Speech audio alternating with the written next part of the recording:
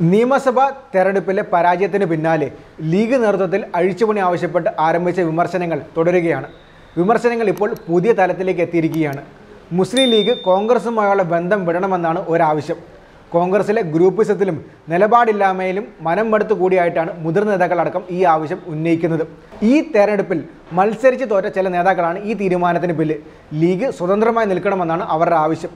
മുതിർന്ന നേതാക്കളുടെ മനസ്സിലുള്ള ഈ നീക്കം യൂത്ത് ലീഗുകാർ സമൂഹ മാധ്യമങ്ങളോട് പ്രചരിപ്പിക്കുന്നുണ്ട്. കോൺഗ്രസ് ബന്ധം വിട്ട് യു ഡി എഫ് മുന്നണിക്ക് പകരം പുതിയ മുന്നണി എന്നതാണ് ആവശ്യം. കുഞ്ഞാലിക്കുടിയുടെ മണ്ഡലമായ വേങ്ങരയിൽ ഈ വിവാദം ചർച്ചയാകുന്നുമുണ്ട് കണ്ണമംഗലം പഞ്ചായത്തിൽ നിന്നുള്ള യൂത്ത് ലീഗ് നേതാവാണ് ഈ പ്രചാരണത്തിന് തുടക്കമിട്ടത് തെരഞ്ഞെടുപ്പിന് ശേഷം മുസ്ലിം ലീഗിലുണ്ടാകുന്ന പൊട്ടിത്തെറിയുടെ ഭാഗമാണിത്. ഇതിനു മുന്നേ ഉന്നതാധികാര സമിതി അംഗങ്ങൾ പാർലമെന്ററി സ്ഥാനങ്ങൾ വീതിച്ചെടുക്കുന്നത് അനീതിയാണെന്ന് ചൂണ്ടിക്കാട്ടി ഒരു വിഭാഗം അണികളും നേതാക്കളും രംഗത്തെത്തിയിരുന്നു. ജനപ്രതിനിധികളെ ഒഴിവാക്കി മുസ്ലിം ലീഗ് ഉന്നതാധികാര സമിതി പുനഃസംഘടിപ്പിക്കണമെന്ന ആവശ്യമാണ് പാർട്ടിയിലെ ഒരു വിഭാഗം ഉയർത്തുന്നത്. സംസ്ഥാന വർക്കിംഗ് കമ്മിറ്റി സംസ്ഥാന കൗൺസിൽ സംസ്ഥാന ഭാരവാഹികൾ എന്നിവരെ നോക്കുകുത്തികളാക്കുന്ന സംവിധാനമാണ് ഇപ്പോൾ ഉള്ളതെന്നും വിമർശകർ കുറ്റപ്പെടുത്തുന്നു.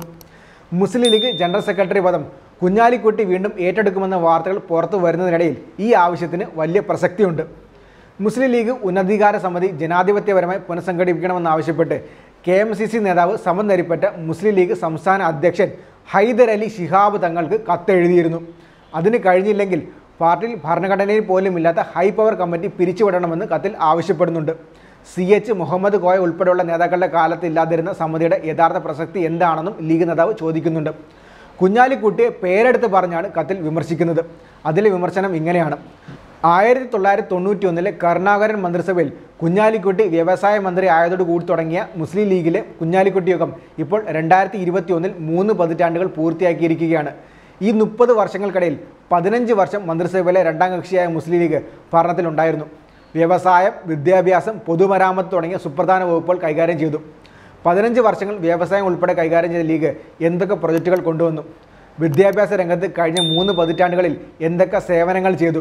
ആരോഗ്യരംഗത്ത് മലബാറിൽ അർഹതപ്പെട്ട അവകാശങ്ങൾ ഉറപ്പുവരുത്തുകയെങ്കിലും ചെയ്തു. കഴിഞ്ഞ വർഷം മലപ്പുറത്ത് എം എസ് എഫ് വിദ്യാർത്ഥികൾക്ക് വിദ്യാഭ്യാസ രംഗത്ത് സീറ്റുകൾക്കായി സമരം ചെയ്യേണ്ട അവസ്ഥ എന്തുകൊണ്ട് വന്നുവെന്നും കത്തിൽ ചോദിക്കുന്നുണ്ട്.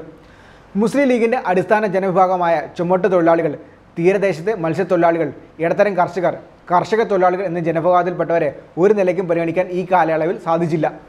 കഴിഞ്ഞ മൂന്ന് പതിറ്റാണ്ടുകളിൽ രാജ്യസഭയിൽ ഉണ്ടായിരുന്ന ലീഗ് എംപിമാർ എന്തെല്ലാം ഇടപെടലുകൾ നടത്തി?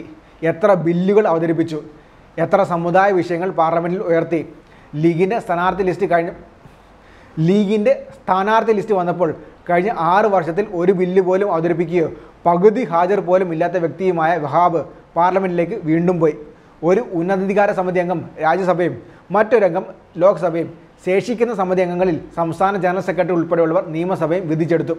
കുഞ്ഞാലിക്കുട്ടി കഴിഞ്ഞ മൂന്ന് പതിറ്റാണ്ടുകളെ മുന്നോട്ട് വെച്ച രാഷ്ട്രീയ നിലപാടുമായി ഇനിയും മുന്നോട്ട് പോവുക പ്രയാസകരമാണെന്നും പൂർണ ജനാധിപത്യം പാട്ടിൽ അനിവാര്യമാണെന്നും കത്തിൽ സൂചിപ്പിക്കുന്നുണ്ട്. സംസ്ഥാന രാഷ്ട്രീയത്തിൽ തിരിച്ചെത്തിയ കുഞ്ഞാലിക്കുട്ടിക്ക് ദില്ലിയിൽ പോകുന്ന സമയത്ത് പാർട്ടിയിൽ ഉണ്ടായിരുന്ന അത്രയും കരുത്ത് ഇപ്പോൾ ഇല്ല എന്നതും മുസ്ലിം ലീഗിലെ യുവജന വിഭാഗം ഇപ്പോൾ കടുത്ത അസംതൃപ്തിയിലാണ് എന്നതും ഇതിനോടൊപ്പം ചേർത്ത് വായിക്കണം.